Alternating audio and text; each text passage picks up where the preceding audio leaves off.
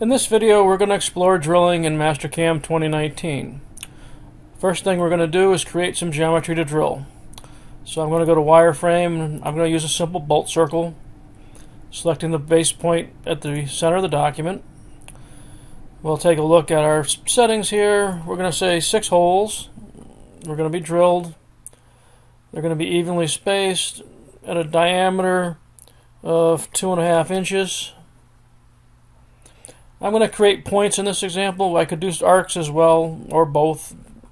And this, this example all will work.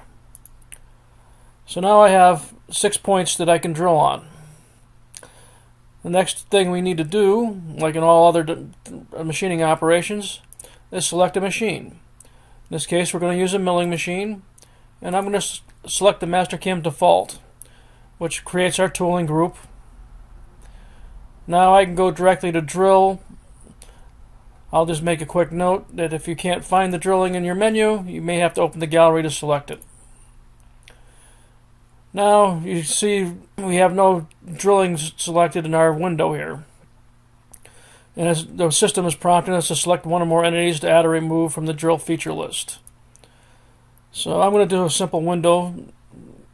Notice I get a quick update of how my drilling pattern is going to look. If I don't like how it looks, we can shift things around a little bit. I can move things up. I can move things down. Whichever way I'd like to do that. I could add points. You can change behaviors at a certain point. I can reset the order selected. A lot of times I will select my uh, drilling in the order I'd like them to be. We have another couple options here. We can copy previous points of, or we can mask on arc. We'll cover those in, in later videos. Right now I'm going to accept this for simplicity. Next thing I need to do is select a tool. We're going to select it from our tool library and I'll scroll down until I find something that I like for this particular operation. And we'll just go with a half inch drill. We're going to skip spotting in this case. I'm just going to drill a hole pattern. In our cut parameters, we can select how we'd like the holes to be drilled. I can do peck drill, chip breaks, and a number of other cycles that are available here.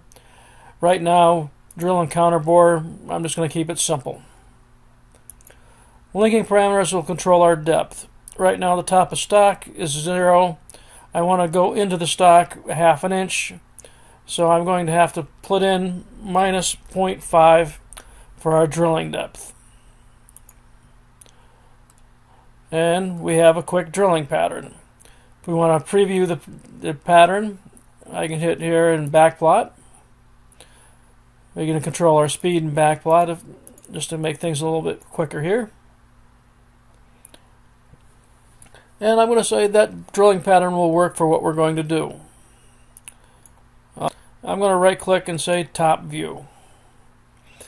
This is a very basic example of how to drill in Mastercam 2019 We'll be using some more advanced examples in the videos to come.